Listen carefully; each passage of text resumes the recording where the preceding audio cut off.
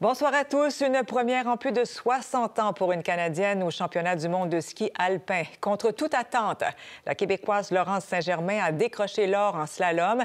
La fierté de Saint-Féréol-les-Neiges aide ainsi le Canada dans sa récolte historique de quatre médailles, un record national. Diane Sauvé.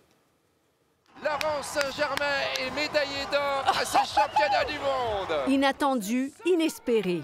C'est un sacre mondial contre toute attente pour Laurence Saint-Germain, dont le meilleur résultat jusqu'ici était une sixième place en Coupe du Monde. Je sais pas trop quoi penser. Là. Je suis un peu, euh, je comprends pas trop qu'est-ce qui se passe encore. Euh, je suis vraiment contente de ma descente. Je voulais juste vraiment attaquer. Euh, j'avais un peu mal au cœur avant de partir. Au départ. De la pression, oui. Après la manche initiale, la skieuse de 28 ans se trouvait au troisième rang, à 6 dixièmes de la meneuse et grande championne américaine Michaela Schifrin. C'est bon, c'est bon! La Canadienne a su bien gérer son stress dans la seconde manche pour livrer une performance quasi impeccable, alors que Schifrin, elle, y est allée d'une descente plutôt brouillonne. Oh, qu'elle est contente, Laurence Saint-Germain! Laurence Saint-Germain est ainsi sacrée championne du monde, plus d'une demi-seconde devant Schifrin, la skieuse la plus titrée de tous les temps.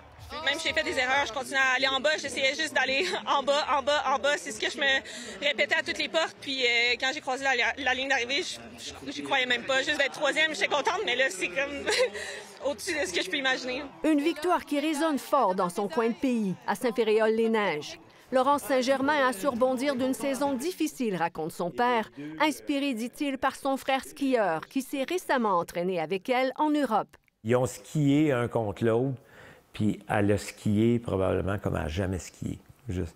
Même William me disait qu'un des coachs a dit Ça ne me surprendrait pas qu'elle fasse un podium en Coupe du Monde. J'ai jamais vu skier comme ça. Ça valait la peine de persévérer. Laurence Saint-Germain!